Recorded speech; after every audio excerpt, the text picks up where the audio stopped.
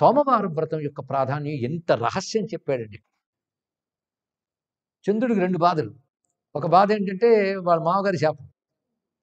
రెండో బాధ ఏంటంటే వీరభద్రుడు ఆ యజ్ఞం వచ్చిన ఒక్కొక్కరిని కొట్టాడు కదా. తగుదనమ్మా నేను వెళ్ళాడు. ఆ శివుడి వల్లే ఉన్నప్పటికీ ఒకసారి ఇలా అన్నాడు నొక్కి. ముద్దయిపోయాడు ఆయన. దానితో ఆయన బాధపడ్డాడు. ఇవన్నీ బాధలు పోగొట్టుకోవడం కోసం శివుని ఆరాధన చేశాడు. ఎక్కడ కేదారే సోమనాథాఖ్యం లింగం అక్కడ సోమనాథ లింగం అని ప్రతిష్ఠ చేశారు. కేదారంలో చంద్రుడు ప్రతిష్ఠ చేసిన ఒక లింగం ఉన్నది. చాలా విశేషం అది. అప్పుడు శివుణ్ణి ఉద్దేశిస్తూ ఆయన చేసిన స్తోత్రములు చాలా ఉన్నాయి కానీ ఒకటి. బలీవర్ధమావర్ధయన్మార్దవేన క్రుధాత్రైపురన్ నిర్దహన్నర్ధతేయ ఇనాక్ష్వైవ హార్దం తమో నాశయం లోకజాలం శశోకం పునీతే మహేశః. ఏం శ్లోకం రచించారండి ఇక్కడ బలీవర్ధమావర్ధయన్మర్దవేన క్రుధాత్రైపురన్ నిర్దహన్నర్ధతే యహ. బలీవర్ధం అంటే వృషభం. ఆ వృషభం మీద కూర్చొని మహానుభావుడు మార్ధముగా ప్రకాశిస్తున్నప్పటికీ క్రుధతో అంటే కోపంతో త్రిపురాసుని సంహరించినటువంటి స్వామికి నమస్కారం. ఈ విధంగా స్థుతి చేస్తే చంద్రుడు గురించి ఇక్కడ వివరించబోతున్నారు. మన అనేక వ్రతములు చంద్రుడిని ఆధారించి ఇది తెలుసుకోవాలి. మన చంద్రమానం కూడా. చంద్రకళలను ఆరాధించడం అనేటువంటిది చాలా ఉత్కృష్టమైన క్రియ. అదే శ్రీ విద్యారూపంలో మనం చూస్తున్నాం. ఆ చంద్రతత్వం అర్థమైతే చాలా గొప్పది. అంతే కదా ఎన్ని బాగున్నా మనసు బాగుండాలండి. అది లేకపోతే ఏది బాగుండదు. కోట్లున్న భవనాలున్న మనసు బాగలేకపోతే ఏవి బాగుండదు అంతేకాదు జాతకంలో చంద్రుడు బలంగా ఉంటే మిగిలిన జాతకం చూడక్కర్లేదంటారు. నేను మనోబలం గట్టిగా ఉంటే ఈ కష్టమని ఎదుర్కొంటాడు. కానీ కోటీశ్వరుడు అయినప్పటికీ కూడా చంద్రుడు బరిగ్గా లేరు అనుకోండి మానసిక రోగాలతో బాధపడుతూ ఉంటే ఇంకా అశాంతి అంతా ఇంత కదా. వాడికి వాడుతూ ఉన్న వాళ్ళకి. అందుకే సోమవార వ్రతములు ఆ మానసికమైన అనేక వేదనలు తీరు. ఇది మందు భౌతికంగా చెప్పుకోవడం. కానీ యజ్ఞమునందు సోముడికి చాలా వైశిష్ విశేషం ఉన్నది ఎందుకంటే అనేక వేదములు ఎందు సర్వేషాంజనిత సోమ ఇత్యాది మంత్రములు ఉన్నాయి. అన్నిటికీ కారణం సోమం. సోమం అంటే రసస్వరూపం. సా ఉమా సోమ. శివుడు ఆ రసశక్తిని చంద్రుడిలో పెట్టాడండి. అది ప్రత్యేకమైన అంశం. ఎందుకంటే మనం పొందుతున్న ఔషధులు ఆహారములు చంద్రుడి నుంచి వస్తున్నాయి.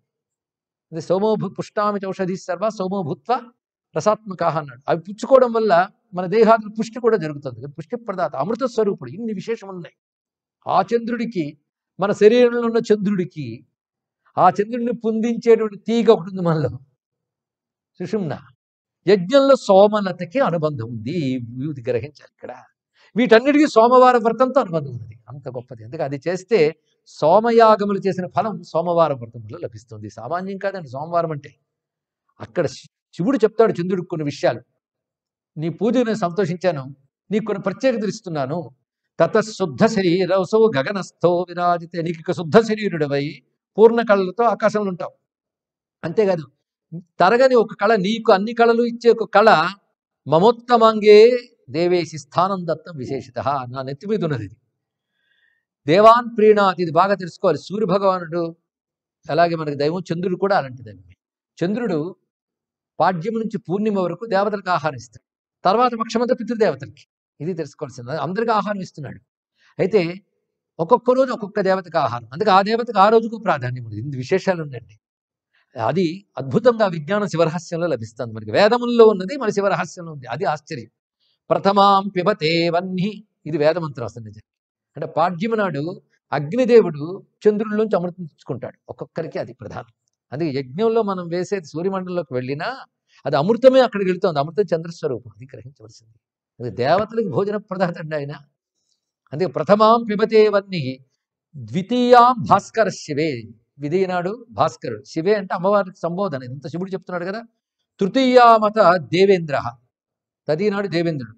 చతుర్థ్యాం మరుతోఖిలాహ చతుర్థి నాడు మరుద్గణములు. మొత్తం ఏడు ప్రధాన గణములు వాళ్ళు తీసుకుంటారు. వసవ పంచమి. వసు వసువులు పంచమి నాడు. తస్య కళాం షష్ఠీంతు వాసవ వాసవుడు అనబడేటువంటి ఇంద్ర సంబంధమైన దేవత షష్ఠీ నాడు. ఆదిత్యాహ సప్తమి. ఆదిత్యులు ద్వాదశాదిత్యులు సప్తమి నాడు. రుద్రాస్తస్య అష్టమి కళాత్. రుద్రులు ఏకాదశ రుద్రులు అష్టమి. నవమీం రుభవో దేవి. నవమి నాడు రుభువులు అనబడే దేవగణములు.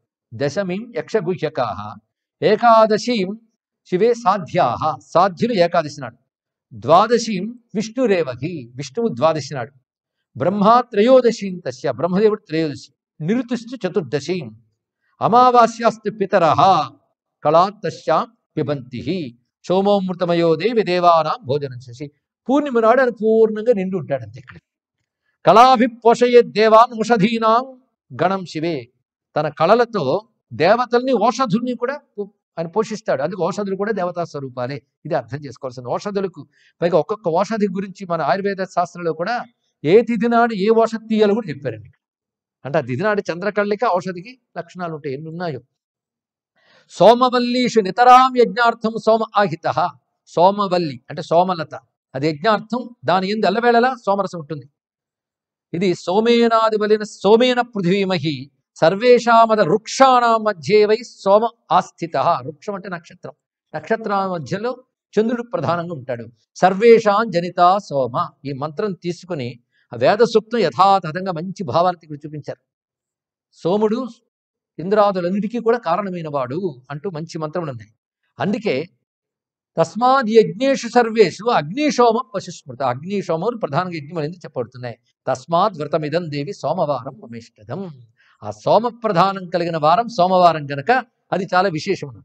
అందులో శ్రావణే కార్తికే మాసి రక్త భోజనమాచరేత్ శ్రావణ కార్తీకాల్లో సోమవారం వస్తే విడిచిపెట్టరాదు సుమా అని చెప్పాడు.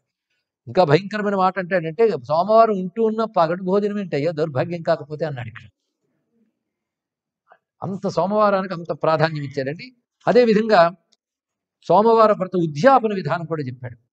అది మాఘమాసంలో ప్రారంభిస్తూ సోమవారం వ్రతం ద్వాదశ మాసములు చేసి దానికి ఉద్యాపన చేసే విధానంలో కూడా మొత్తం చివరి వచ్చేటప్పటికల్లా సోమవారం ఆ రోజున ప్రధానంగా రాత్రంతా జాగరణ చేసి నాలుగు యామముల్లోనూ పూజ చేసి ప్రాతకాలంలో హోమం చేసి మళ్ళీ స్నానాధికాలు ఇత్యాదులన్నీ చేసుకుని హోమం పూజ ఇత్యాదులు చేసి పూర్ణం చేసుకుని పార్వతీ పరమేశ్వరులు ప్రీతి చెందుగాక అని ధారపోసి పదహారు మంది విప్రోత్తములకు భోజనం పెట్టి ఒక్కొక్క పేరుతో వారిని ఆరాధించాలి అన్నాడు. పదహారు పేర్లతో ఒక్కొక్కని శివుడి నామంతో.